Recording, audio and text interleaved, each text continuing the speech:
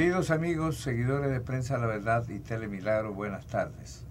Es un placer contar en nuestros estudios con la grata presencia de Ana María Rafa, asambleísta electa por el Distrito 4, con la más alta votación y quien maneja el liderazgo de la campaña de Andrés Arauz en todo el distrito, en Milagro y cantones vecinos. Le damos la más cordial bienvenida. Cuéntenos sobre las actividades que está realizando usted como cabeza eh, de la campaña del presidente futuro Andrés Arauz. Estimado abogado Reyes, muchísimas gracias a Telemilagro, Prensa La Verdad, por esta apertura, por esta invitación para que nuestros ciudadanos milagreños, milagreñas, guayacenses, conozcan la realidad del territorio, la realidad del esfuerzo que estamos realizando para cada vez recuperar nuestra patria. Quiero aprovechar este espacio, abogado, para manifestar nuestro total repudio y rechazo a la campaña sucia del candidato perdedor banquero y de todos aquellos medios de comunicación hegemónicos que se prestan no solo para desinformar a la ciudadanía, sino para tachar la honra de las personas.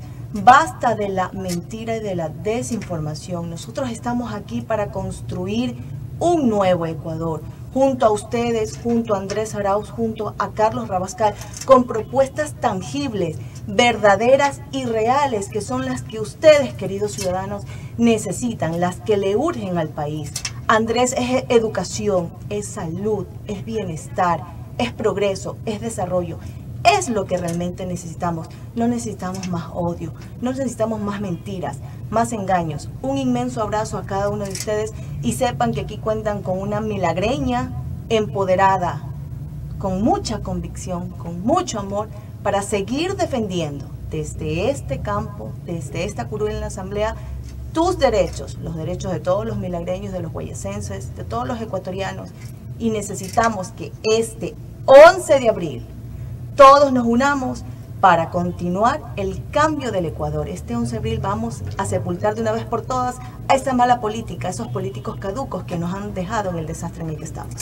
Estamos enfrentando una grave crisis en materia sanitaria justamente por la pandemia que nos agobia, que cobra víctimas, cobra vidas cada día, que nos trae muerte, desolación, pobreza.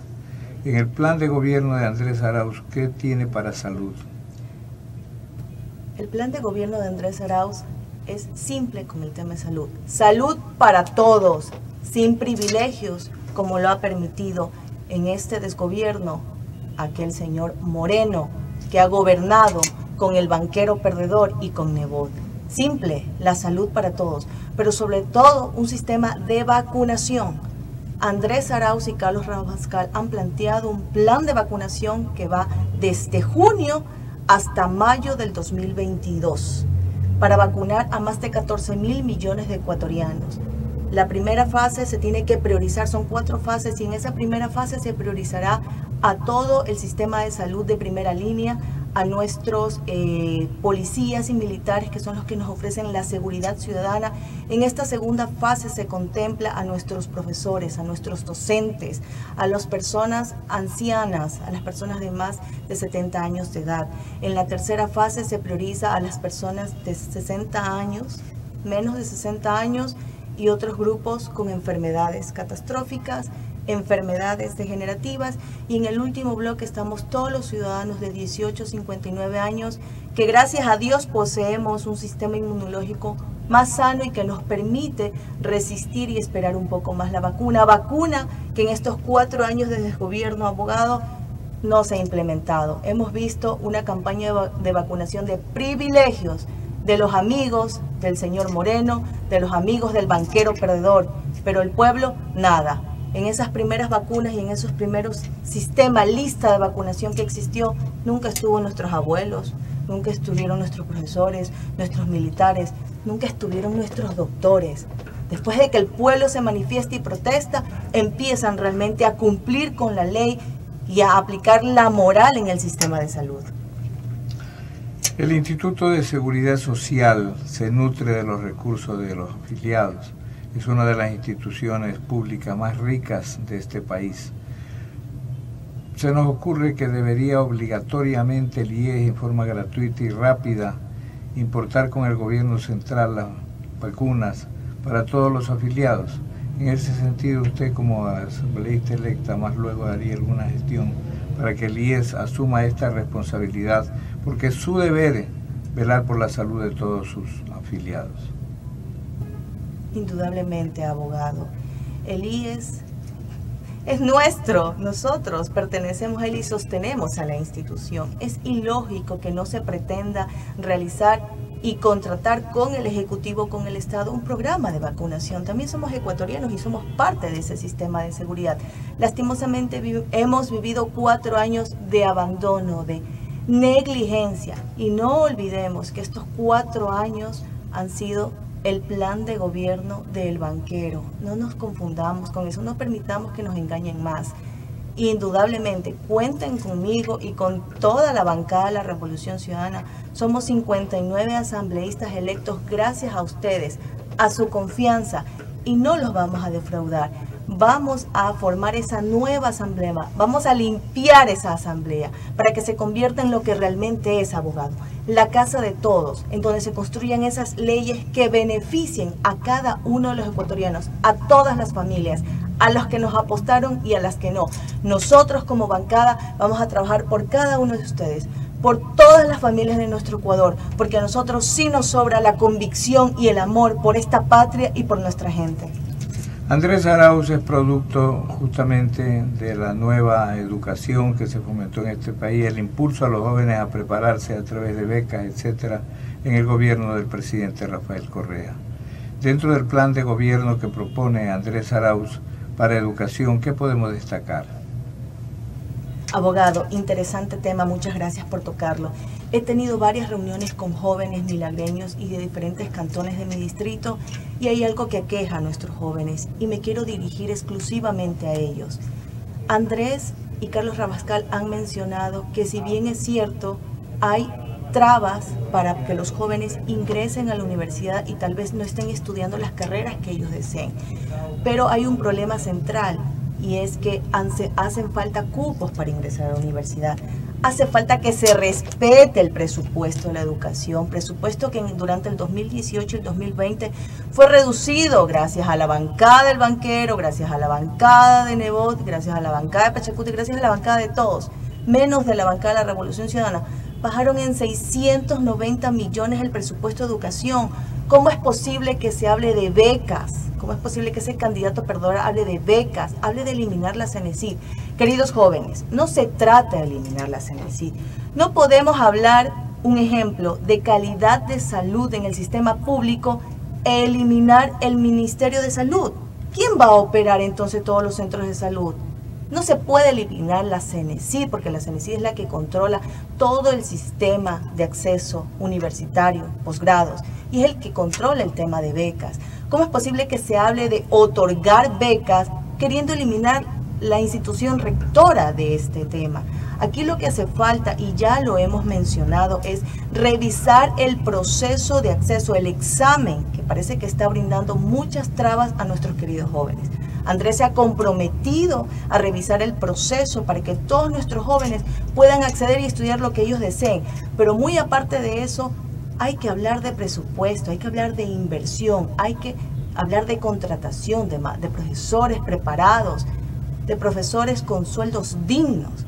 También hemos hablado, y Andrés ha propuesto, recuperar el sistema de becas Eloy Alfaro para que se garantice ese acceso, esa inclusión de las personas, de los estudiantes, los chicos que menos recursos tienen porque ahí hay talento escondido. Y vamos a continuar esa lucha. También se habla de un programa que se llama Más Gratuidad, que es un programa de becas con universidades cofinanciadas para que nuestros queridos jóvenes igual de bajos recursos puedan tener acceso a los estudios.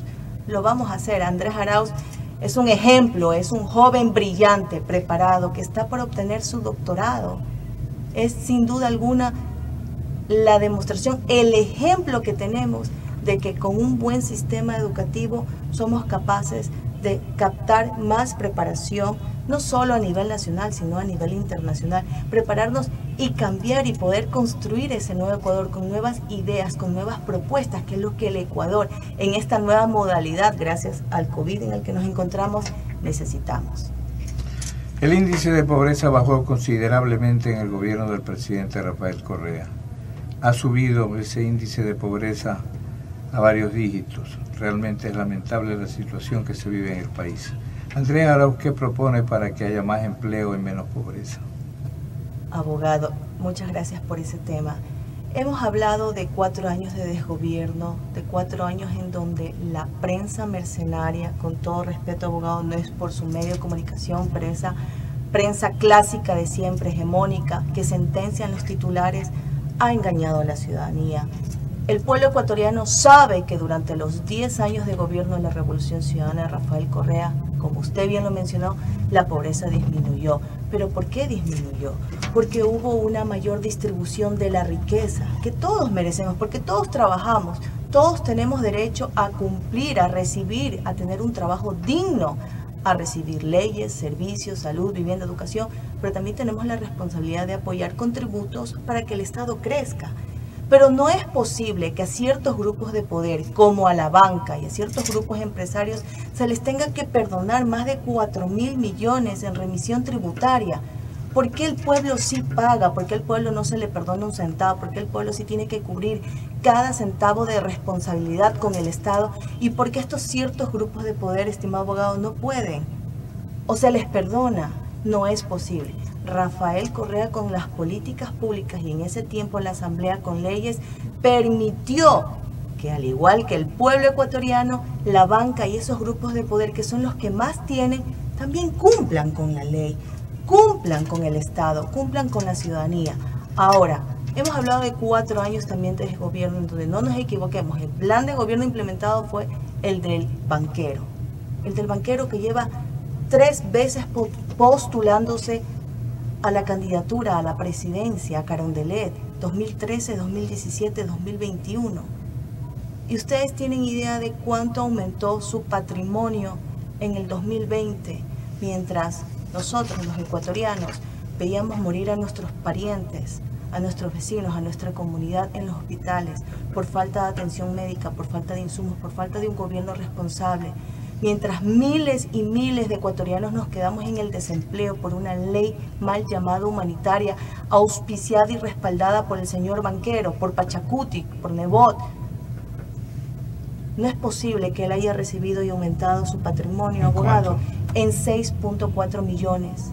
Entre el 2016 y el 2020, el patrimonio del banquero aumentó de 422 millones a 535 millones 100 millones de ganancia en cuatro años, mientras nosotros vivimos en cuatro años. Abandono total, recesión económica, no tuvimos plata en el bolsillo. ¿Qué es la propuesta de Andrés Arauz, de este joven brillante, especialista en finanzas, en economía?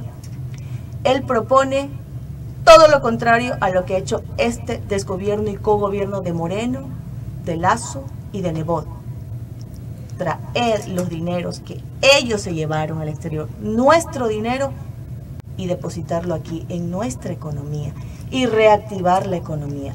Se ha hablado tanto de una campaña sucia, utiliza muchos millones para desprestigiar y engañar a la gente. La reactivación económica que Andrés propone son de 8.475 millones.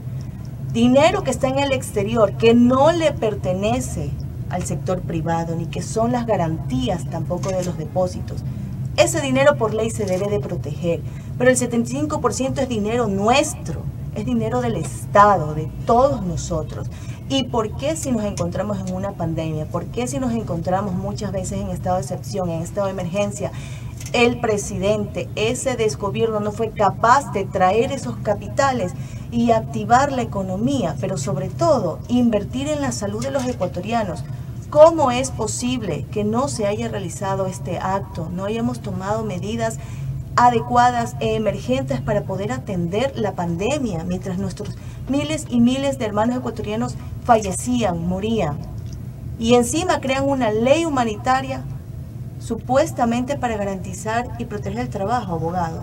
Esa ley lo único que permitió fue el despido, la recesión, la regresión en derechos laborales ya adquiridos.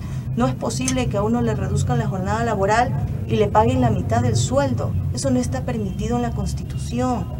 A mucha gente despidieron sin pagarle liquidación, a otras le pagaron una cantidad irrisoria de liquidación. Eso permitió la ley humanitaria. Andrés Arauz propone 8.475 millones y una, una inversión, mil millones de dólares, es algo muy interesante y una propuesta para nuestros jóvenes hasta de 29 años.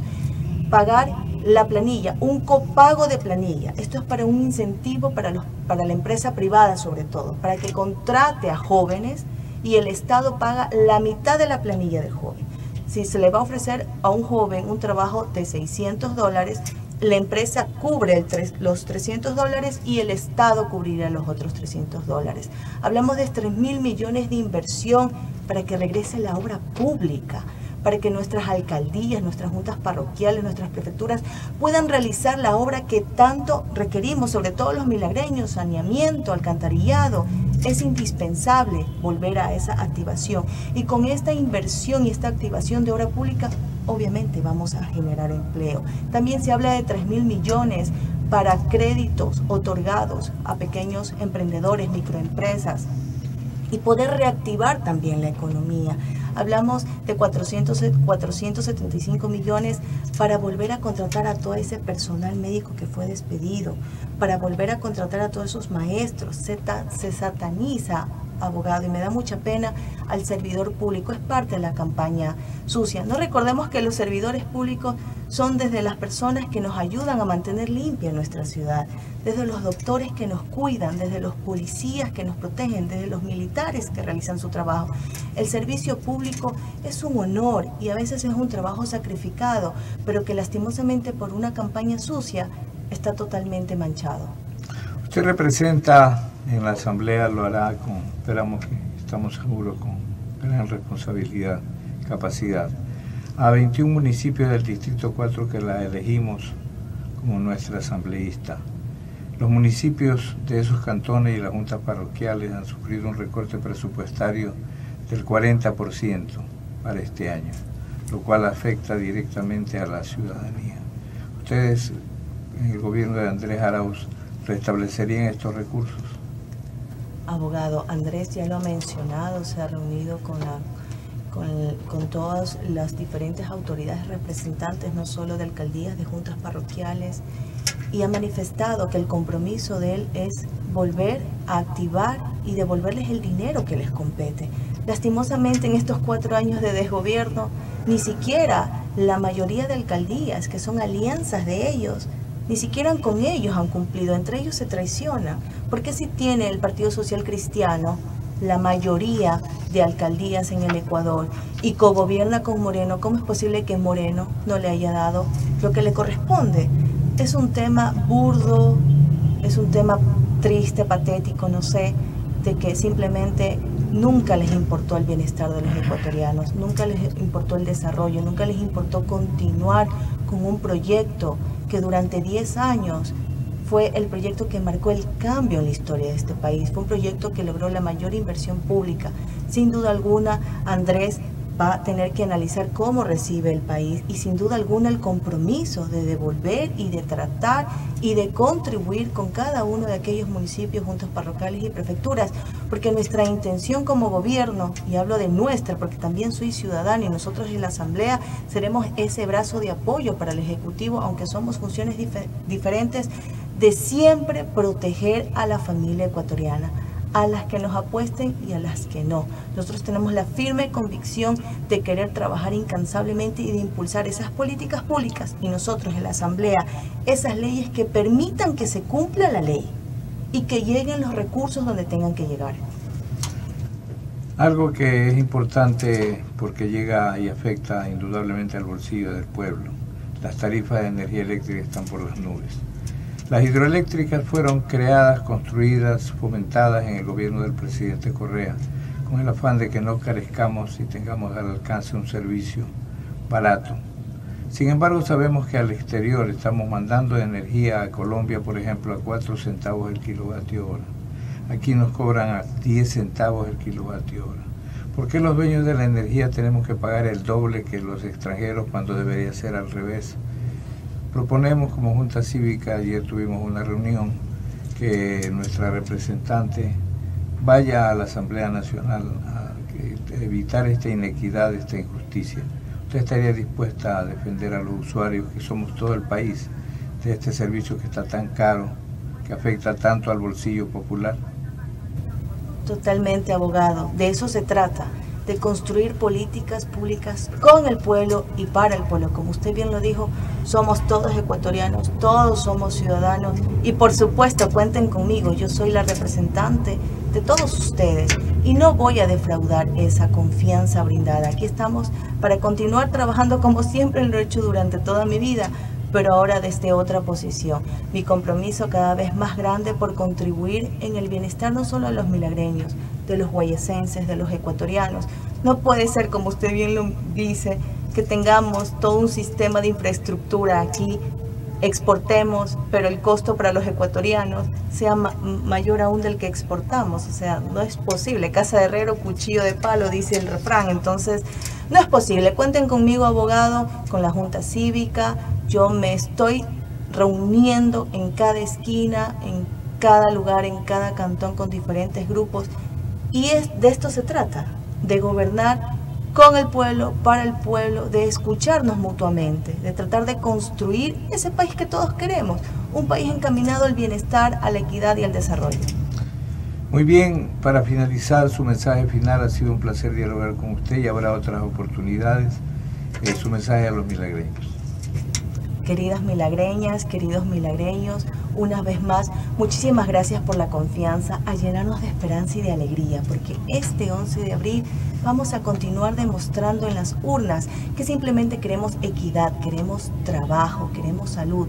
Y eso es Andrés Arauz. Andrés Arauz es salud sin privilegios, es acceso a educación para nuestros jóvenes, sin limitaciones, es educación de gran fortaleza, educación de gran profesionalismo, es apoyo a nuestra educación. Andrés Arauz lo ha mencionado. Él es un joven que aprovechó y él va a abrir las puertas a que nuestros jóvenes accedan a la educación, accedan a becas, que se mejore el presupuesto de educación. Él va a ser vivienda, va a ser desarrollo, va a ser progreso. Andrés es el presidente que todas y todos en estos momentos necesitamos, porque necesitamos un cambio radical ya, estimado abogado, estimados milagreños, estimadas milagreñas, y este 11 de abril vamos a marcar el inicio de ese cambio, vamos a recuperar toda nuestra institucionalidad, toda nuestra patria, y vamos a construir juntos con ustedes ese Ecuador que todas y todos merecemos. Bien, queridos amigos, ha sido un placer dialogar el día de hoy con Ana María Rafo, asambleísta electa por el Distrito 4. Continuamos con las noticias.